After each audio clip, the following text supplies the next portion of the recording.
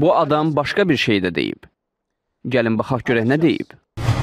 قلت وقد رتب الشيعة على المتعة أجورا عظيمة تلفيقا منهم وكذبا على آل البيت مبتوتة في مطولاتهم منها من تمتع من تمتع بامرأة مؤمنة فكأنما زار الكعبة سبعين مرة هذه في الكافي Doğru deyiblər ki, insanlar yalnız zəlillik və həqirlik səbəbindən yalan danışar, ya da pis işə vərdiş etməsi və ya ədəbsizliyi səbəbindən yalan danışar.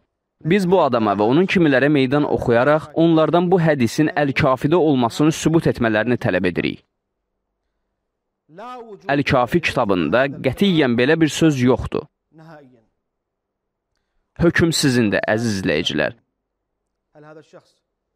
Bu şəxsi istər haqq cərgəsinə qoyun, istərsəniz də yalançı və iftiraçılar cərgəsinə. Hökm sizindir. Bu buraxılışımız burada sona çatdı. Bizi növbəti buraxılışlarda gözləyin. O vaxta qədər ağızlarınızı Həzrət Muhammed və onun ailəsinə salavatla ətirləndirin. Allah, salli ala Muhammed və ali Muhammed.